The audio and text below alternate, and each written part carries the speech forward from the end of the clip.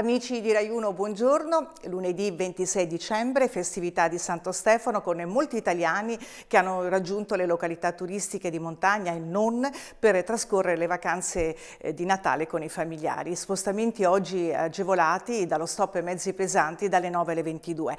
Come di consueto monitoriamo in real time le immagini ci giungono in diretta che evidenziano mh, viabilità fluida.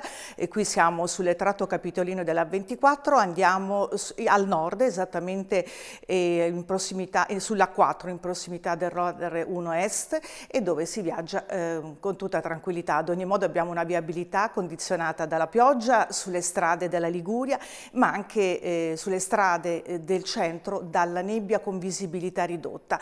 vi comunico una, con grossi disagi alla viabilità perché è avvenuta una frana ieri sera ed è chiusa la strada statale 26 della Val d'Aosta eh, tra Pre-Saint-Didier e la Tuile in entrambe le direzioni.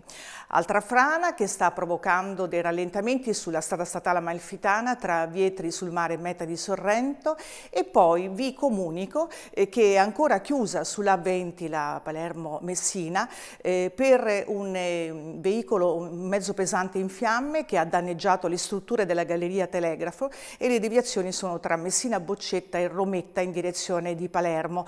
E poi abbiamo um, un incidente che al momento sta sviluppando dei rallentamenti sulla tangenziale di Catania a Gravina e notizia appena giunta di un incidente sulla Firenze Mare, sulla eh, Firenze Pisa, esattamente tra Altopascio e Capannori, un incidente da poco verificato, vi daremo informazioni nelle prossime edizioni della nostra rubrica.